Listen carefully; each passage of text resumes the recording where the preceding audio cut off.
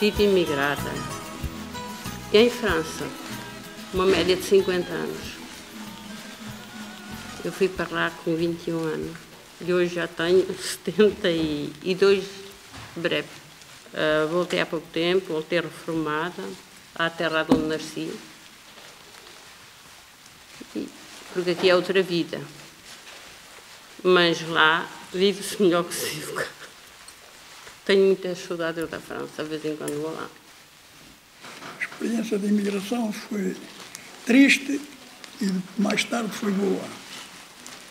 Em 1962 foi a pé de Portugal até chegar à França, ficaram uns sapatos pelo caminho.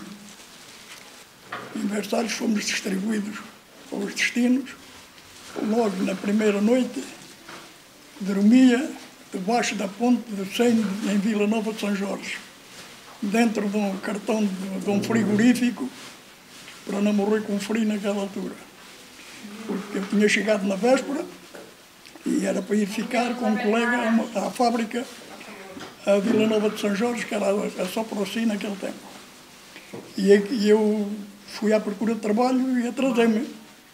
E depois queria entrar lá para dentro e os cães, alguma vez me deixavam, não os conhecia, não sabia falar para eles nem nada. Não tive mais ponto nenhum para me arrecadar, basta ponto Vila Nova de São Jorge. Um cartão de um frigorífico, abri-o, de um pilar e assim lá passei a noite. Depois, a partir daí, comecei a trabalhar logo no dia a seguir, fui trabalhar para umas valas a 4 metros de fundo. E pensei, quando andava nas valas, pensei assim, eu tenho fugir de Portugal, de andar a cavar vinha, ou de cima da terra e ando aqui agora dentro de uma vala. Andei uns três ou quatro meses naquilo. Fomos trabalhar para o pé de uma autoescola. E a senhora da autoescola era uma italiana, percebia português.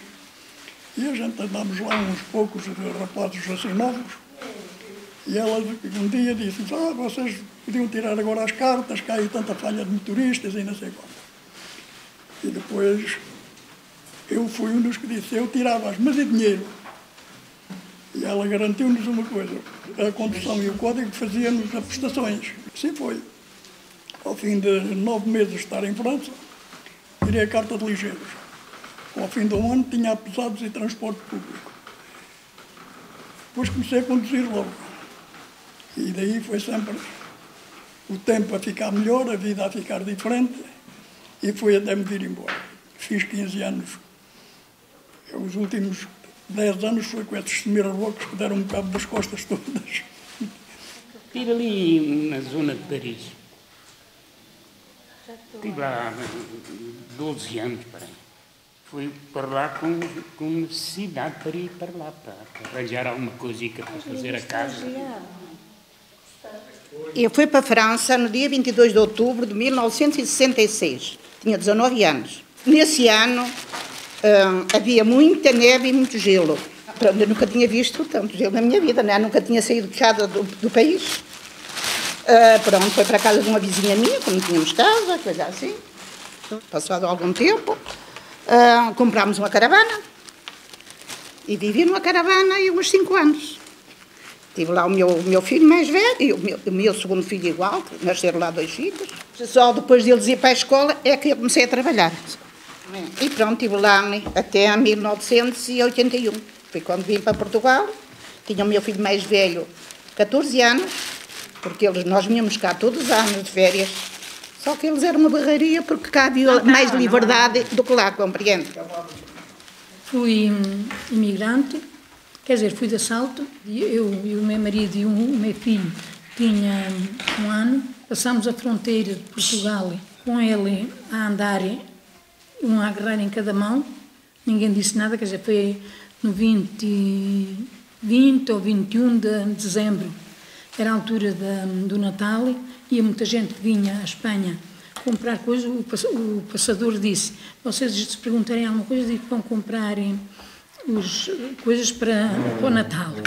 Quer dizer, nós passámos de assalto, mas o, o senhor que vinha o carro para levar a gente, depois ele chegou e fomos, pronto, e correu tudo bem. Entretanto, arranjamos os papéis e tivemos lá, pronto. O meu menino, o meu filho, foi connosco, mas depois nasceu lá também uma filha minha.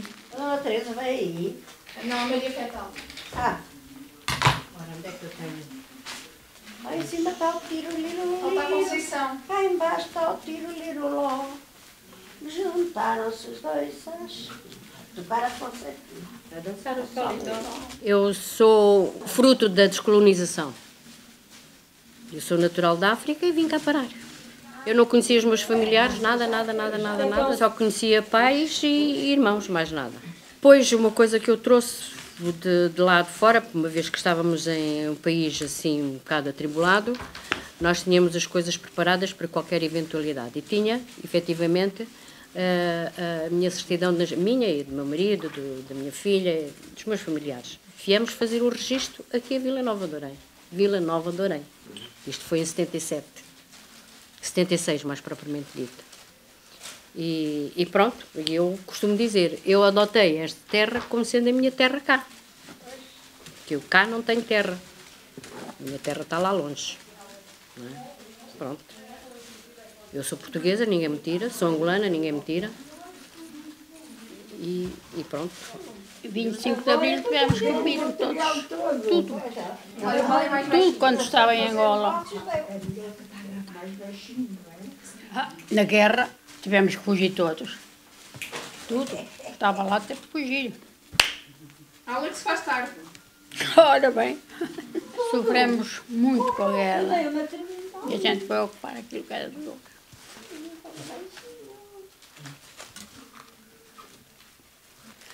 Fui eu e foi as minhas irmãs, foi tudo. Nós já éramos seis filhos. Sei que vim casada já. Já vim lá casada. Já vim lá com o meu marido. E nasceram lá três filhos. Uma morreu, ficou lá, sepultada, Maria do Céu. Depois tenho outra, que é Carla. E tenho outro filho, é António Carlos. Está nos Estados Unidos. Mas era uma terra muito boa. E, eh, era uma terra muito linda.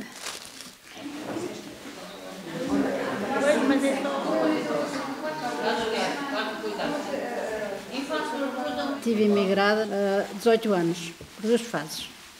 Tivemos muita dificuldade quando lá chegámos, em, por causa, em princípio da língua, e viver em péssimas condições.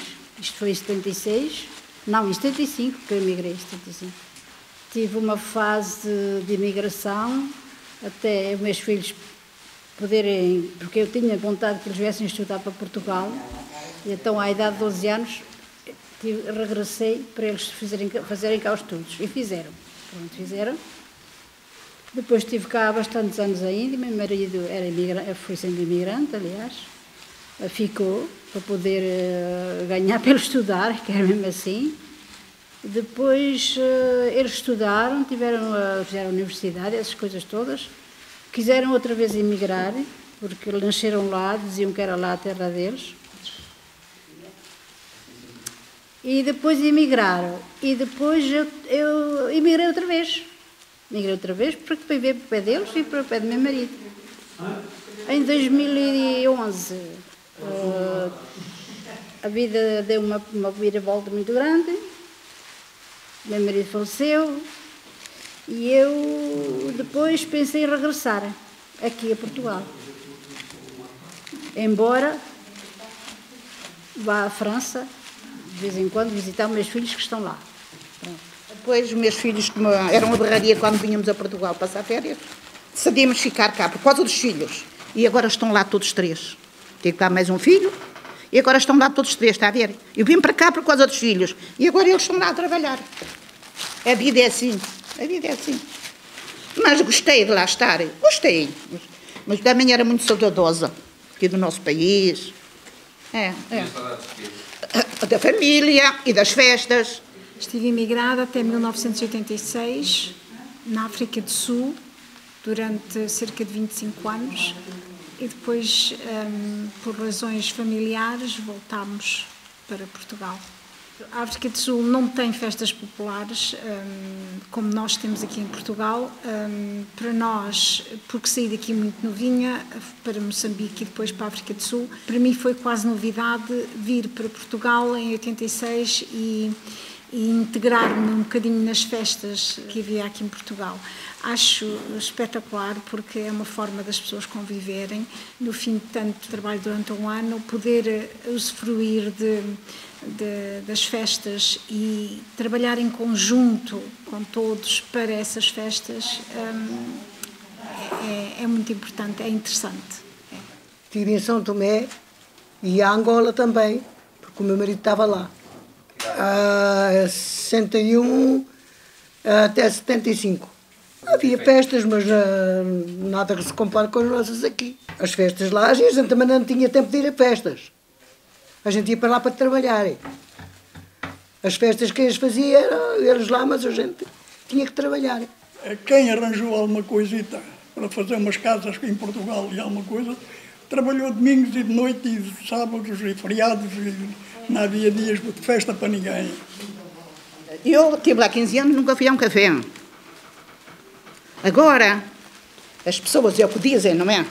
Mais às festas do que antigamente. Antigamente era só para engriar um bocadinho de dinheiro, para poupar o mais que a gente podia, compreende? Quer dizer, havia lá portugueses com acordeão com, e, e guitarra, havia assim lá festas também engraçadas. Olha, uma vez fui lá a uma festa e depois havia rifas, quer dizer, rifavam. E eu calhou-me uma bicicleta senhora. Mas eu não, não sabia andar de bicicleta. E depois vou assim, ó, vou agora com isto à mão até lá à casa, voltei para trás e fui levá-lo novamente. A eles. Ah, lá em França também há festas portuguesas. Há muitas festas portuguesas. Há muitas, muitas. E há muitos convívios portugueses. Onde nós estamos era, havia muitos portugueses. É tal e qual como em Portugal agora. Portugueses. Tem muitos, muita música portuguesa, artistas que vão de Portugal. Há muitos ranchos lá. Agora, em feitos como aqui, não. Não- É impossível. Então, A minha avó já fazia, a minha mãe já fazia. A gente começa logo a fazer umas florzitas. Pois, desde nova, aí, com os seus 10 anos, 12 anos, já fazíamos flores. Fui tirar um curso naquele tempo que era da CEE, que davam as professoras, e, e então veio uma professora tomar para fazer flores e eu é que as tive que ensinar. Portanto, já, as flores para mim já não é novidade. Contar, antes, depois de dobrado eu corto, está aqui uma beleza e... Tem que ver até onde é que pode ir. As festas, era uma vez por ano, eram enfeitadas, era o largo e as ruas. Quando passava a procissão, eram enfeitadas nas ruas com, com isto. Era o juiz, o escrivão e aquilo tudo, e à frente dessas casas é que era tudo enfeitado com estas coisas. Não, não faz- ninguém sabe fazer já nada disto. Já não não. se faz nada disto? Hoje é tudo mais sofisticado. E naquele tempo era tudo à mão, era aquilo assim tudo. Fazíamos muitas rosas de papel frisado. Você conhece com certeza. Aquele papel que a gente estica e ele, dá-se. Fazíamos o que é estes papéis só para estas coisas. O papel antigamente era diferente. À, à medida que os anos vão passando, as coisas são, vão, sendo, vão, vão deteriorando. E o que interessa, ah, se calhar este foi comprado na loja dos chineses, é verdade. Quando a gente andava na escola, em Leiria, a gente fazia estas para ir para o Santo António, para o São João, para enfeitar as ruas. Fazia-se flores. Não eram iguais a estas, mas eram outras. Aquelas bandeirinhas que a gente punha, pronto. Ah, não, o, ah, o, o, papel, o papel não era deste. O papel era de um que esticava. Sabe qual é? A gente leva o papel para onde quer. Agora este não, este é, é só para dobrar. Muita, muita, muita. Fiz muita flor. Até, até as fazíamos de- com quatro cores. Depois eram refiadas, tanto para pôr nas cordas, como para pôr na- nas forraças que a gente fazia antes. Fazíamos forraças altas, todas cobertas de flores. No fundo levava uma tábua de madeira, com uma cana, para depois levar as vergas, para pôr os, os piabais. Íamos, a, íamos ao Pinhal, é, tem as tinhas, chegámos lá, cortámos eucaliptos daqueles miúdi- miúdos para fazer a, era uma varola comprida. Depois fizemos um buraco no chão, atacámos com, com pedra em volta para aqui nessa, essa, alagar com o tempo. E depois pomos lá uma bandeira encarnada, ou amarelo, ou azul, ou verde, desde a escola da Conceição até, até, à, à capela São Vicente. Não são mais, pouco mais de 100 metros. Depois lá em volta da capela, mais uma dúzia delas também, e ficava assim. Eh, Tínhamos música, eh, tínhamos tudo, foguetes. Quando eu era garota, eh, apanhava flores e gostava delas. Rosas, cravos. Mas Irina, para as festas, você fazia flores? Eu não, Não? não. Nunca chegou a fazer para as festas da aldeia? Ah, depois fazia e, e levava andores às costas. Pois, também me parecia. Era, era um, um tabuleiro, tudo enfeitado. Aquilo é bonito. A festa maior é tudo enfeitado. Eh, No arrabal. Um levava o andor e as outras levavam um andor mais baixinho, um santinho mais pequeno, outros maiores, tudo em fila. Ah, quando a gente éramos crianças era assim, senhor, olha. Ah, era um lugar ainda assim grandito. E depois a gente queria comprar foguetes para tirar na, fe- na, na, na fonte. E cada um dava um bocadinho para comprar o papel, para comprar os foguetes. Ajuntámos todos e arranjámos dinheiro e comprámos o papel e fazíamos. Fazia um peditório. Depois fazíamos um pintor, um pintor para as portas e as pessoas todas davam para a ajuda. E depois fazíamos aquele, aquele, aquele, ar, aquele arco bonito, carregado de balão. Os andores eram feitos com uma cola especial. Vocês faziam cola com o quê? Era a farinha Olha, a gente fazia farinha de trigo amassada e ela colava muito bem no papel e a gente fazia assim. Era a cola que vocês tinham? Era, era. Naquele tempo era assim as colas. A gente era farinha com água e colávamos as bandeirinhas no- nos cordéis, lembra-se? Eu flores nunca fiz. Foi a primeira vez. Mas fazia-se aquilo que a gente fazia as bandeirinhas, colava com farinha e, e água. Era. É, a gente até fazia às vezes até com farinha de trigo. Com, com farinha de trigo a gente colava aquilo. Porque a gente não tinha dinheiro para comprar a cola. e então a gente da farinha de trigo roubava lá a minha mãe, assim, lá no chique e depois assim, lá aqui. Não, Cola não tínhamos nenhuma, era essa, essa tal massa de trigo, farinha de trigo com água, mexida num, num coisa, punha-se um bocadinho assim é que se agarrava. E aquilo que ele secava, eh, segurava mesmo, segurava mesmo o papel.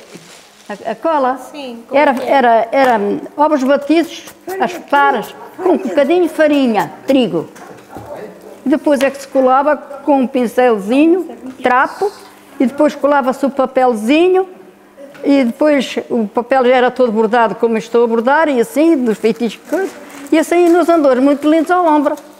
Sempre, toda a minha mocidade foi em festas, trabalhei muito numa quinta em Ceissa, fui muito divertida, em todos os trabalhos, bonitos e bem feitos, e pedia para os andores para as festas, enfeitava os andores, eh, ia pedir pelas portas para fazer os bolos e depois eu juntava aquele dinheirinho, fazia dois andores, punha-os a vender no adro.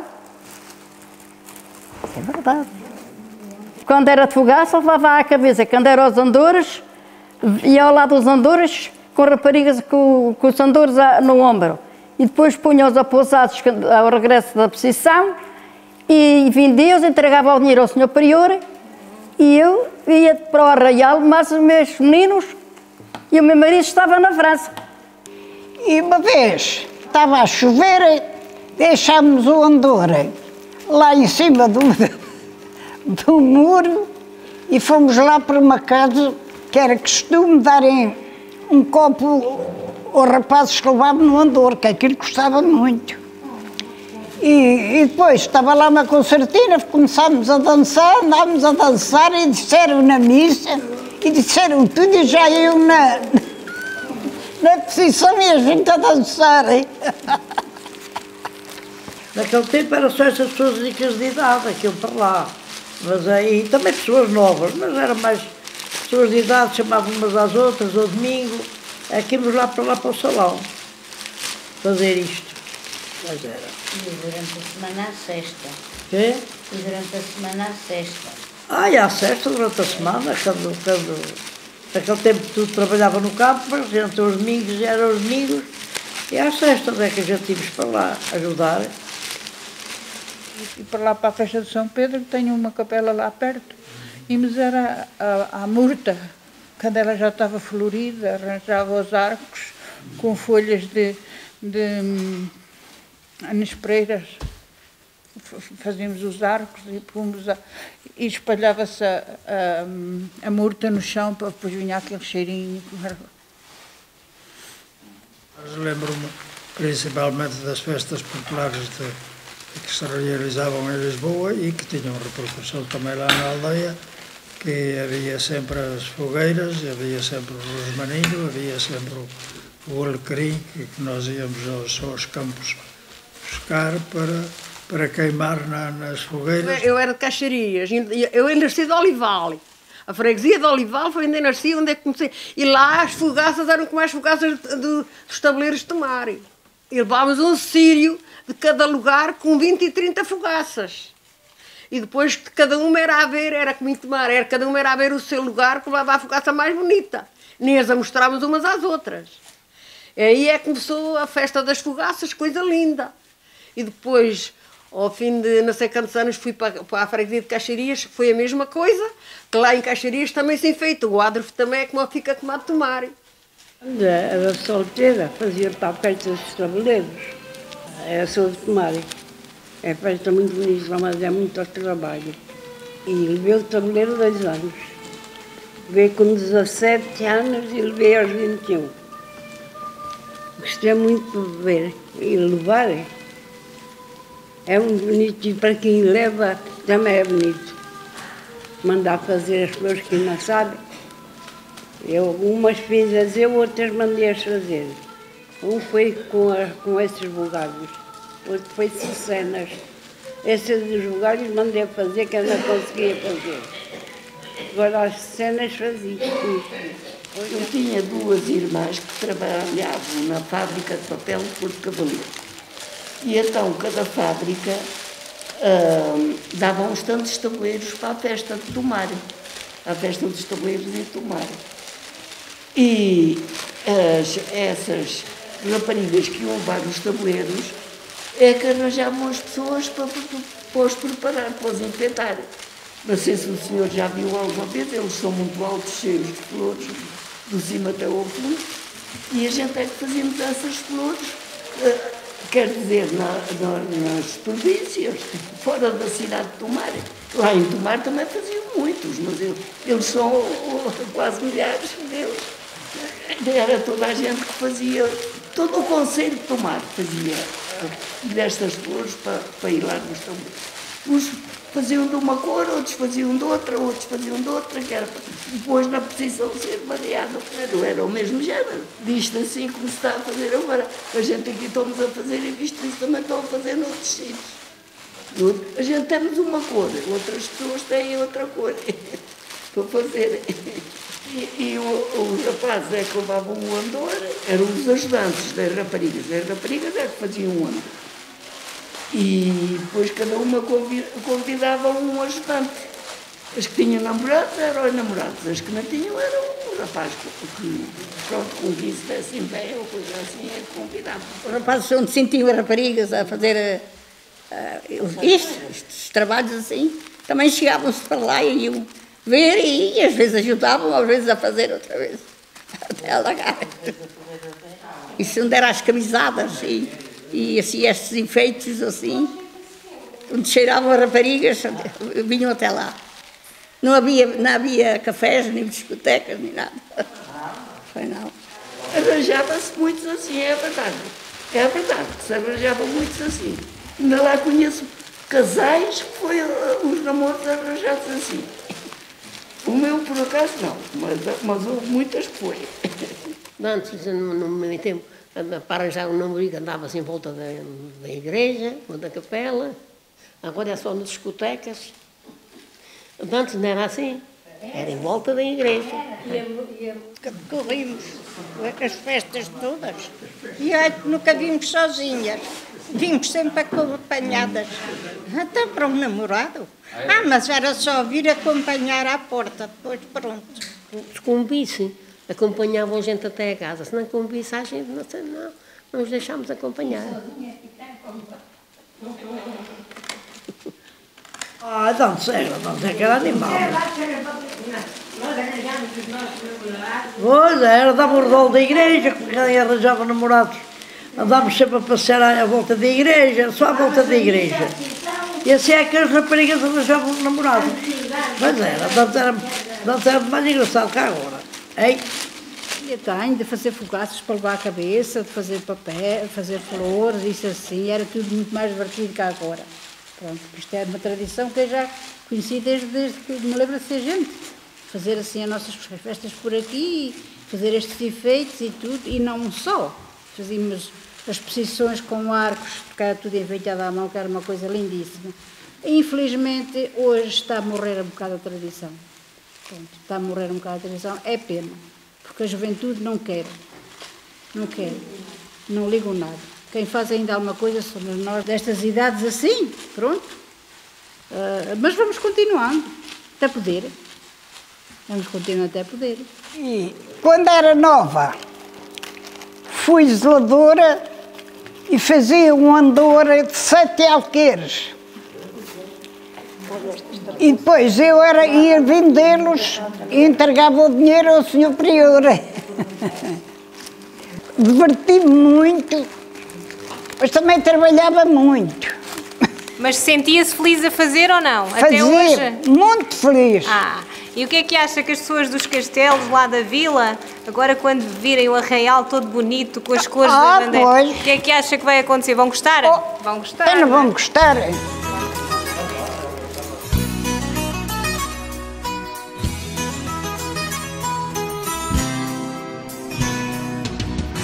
Duas molas de cartão numa terra de França. Um português deixou assim seu Portugal. Como tantos outros, ele não perdeu a esperança. O português que deixou seu Portugal.